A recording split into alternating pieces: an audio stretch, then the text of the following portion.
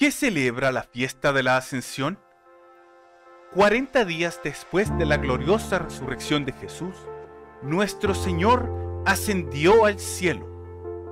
La ascensión de Cristo marca la entrada definitiva de la humanidad de Jesús en el dominio celestial de Dios, de donde vendrá de nuevo. Esta humanidad, mientras tanto, lo esconde de los ojos de los hombres. Antes de ascender en presencia de sus apóstoles, los comisionó para continuar su ministerio de redención, diciendo, se me ha dado toda autoridad en el cielo y en la tierra.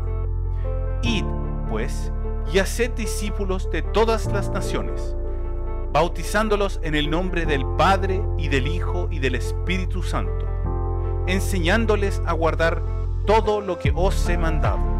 Y he aquí, yo estaré con vosotros siempre, hasta el fin de los tiempos.